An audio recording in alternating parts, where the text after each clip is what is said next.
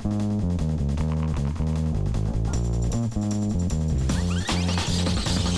is Engineers Unplugged. Oh, hi. I'm Lauren, and this is Engineers Unplugged. I'm here with my buddy J and my buddy Simon, um, but they don't actually know where they were going to stand, so that thing is all flipped off uh, between each other. Um, what are you guys going to talk about today? We're going to talk about Splunk. Oh, congrats! Awesome. No, All right. actually, we're going to talk about, well, I'll, Yeah, we're going to talk about Splunk, and we're going to talk about um, why people are talking about Splunk. It's All a right. it's a whole meta thing. I know. I just had an inception moment. Okay, I'm going to let you two talk, and I'm going to get out of the way. All right. So yeah, today we're going to talk a bit about uh, where Splunk is fitting into the, the Cisco ecosystem, but even more importantly, um, I, I am not an analytics guy, so I'm going to ask some questions from the heart. It's a genuine kind of a question and answer period. But I do hear about Splunk an awful lot in what I do on a regular basis. And the question that comes up to my mind and, and, and, and realis- realistically is, what is so special about Splunk? Why are people talking about it so much? okay, that's a great question, J. I try to And come up with them, yeah. Thank you. Yeah. So, what makes Splunk so different is, well, we're a single piece of software and we're a platform for machine data. So, one of the things that differentiates us is we can take in any type of data. So, when I say any type of data, we talk about analytics. Maybe you want to look at your Twitter data. And apparently, people love my Twitter handle. Yeah. Uh, maybe you want Which to look doesn't at really exist, by the way. Maybe you want to look at logs. Maybe you want to look at some database data. Maybe it's something, basically anything textual. Well, when you say that we're taking in data, is this is this user data or is this uh, uh, switch data? Is this uh, compute data or logs? can be all of those things. Okay. So that's that's one of the beauties of Splunk. You don't have Okay. to know the format or what things look like before you put it into Splunk. So our single piece of software, it will take in all these data sets. The only requirement is that it's textual. It'll collect it, it'll index it, and then it'll give you the power to search, do correlations, and powerful analytics. Okay. So uh, when we when we extrapolate this into a, a data center like like Cisco's ecosystems, exactly. So where we've got compute, we've got networks, and we've got storage. What kind of advantage does a Splunk analytics um, set give us overall? Okay, so as I mentioned earlier, one, one of the key differentiators that we have is what we call a schema on the fly or a late binding schema. Okay. So what that means is instead of your traditional database where you have to format all the data before it goes in, we take a reverse approach where put the data as is, it's in its raw format, then as you search it, as you want to look at it as your user, that's when we build a schema around it. So it's, it's late binding. Is so, he dancing? Oh, that's a guy. That's a guy. It's a computer screen. Okay. Um, so how is that different? Well, that means any new data set, you don't have to rebuild your database. That means any, anything you want to put in, whether it's routing data, switch data, uh, actually the UCS exhaust, or you want to pull stuff from your API, you can put all of that in and do correlations and analytics across all of it in a single piece of software. So there isn't this huge stack of all these servers and one's a web server, one's an app server, there's a database. No, there's none of this. It's just one piece of software can be virtualized or, or deployed on a UCS hardware. Okay.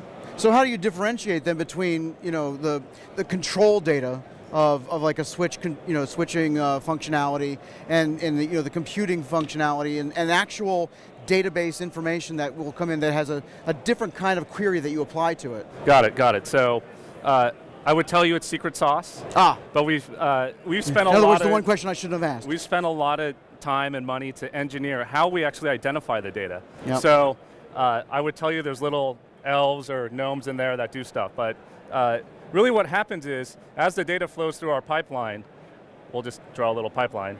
Um, what happens is as we read it, we use regular expressions to identify and classify the data as we write it into our flat file time series index. So as it's written into our index, we identify or classify it as what we call a source type. So at uh, search time, we apply various parameters against that source type to identify it however you want. And so that allows us to differentiate database data to routing data to switching data or exhaust or logs. So I've heard of this term uh, just today, as a matter of fact, this connected analytics. Is that what you're talking about by extrapolating this out into a larger system, or is that something different? Yeah, I would say it. Uh, I would say it's very. We do things that are similar to that. Okay. Um, one of the beauties of Splunk is that you can put in anything that you want. I could put in stuff from my mobile phone. I can take in uh, a feed from Facebook. And the idea is that all of these data sets are relevant to doing your business, or maybe it's daily life, and being able to function successfully, or operating your infrastructure successfully. And uh, our goal is to just to collect everything and give you the ability to correlate across it and analyze it and visualize it. So give me an example of, of, of, of a realistic benefit that you'd get using Splunk that you probably have to do it manually otherwise. I mean, uh, just a, a, generic example that really makes a difference in terms of saving people time or, or, or okay. effort. So think of, think you work on UCS, correct? So UCS has various components, you manage them through, through your management console. Well, what Splunk is great at is we can take all those different data sets and we can tie them together and tell you where the, the hotspots are, but also correlate whether or not it's driven by something that's downstream, such as the storage depending on the network. Well, you don't want to blame the storage if it's really a network problem, how they're trying to talk to the I agree systems. with you completely. And that's what we do very well. Okay. And then, well, if that powers your business, we can also look at that business data at the same time. Maybe it's tying that to Twitter data, because someone has dissatisfaction about something. All right.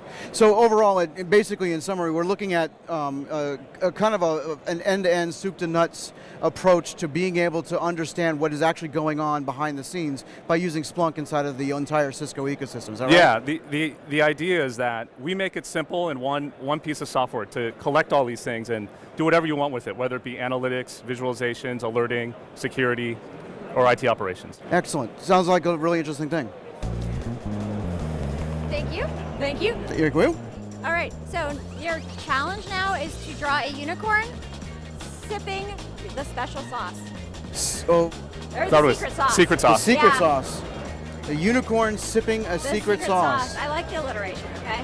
Yeah, I guess so. Yeah. All right, here we go. Go for it. All right.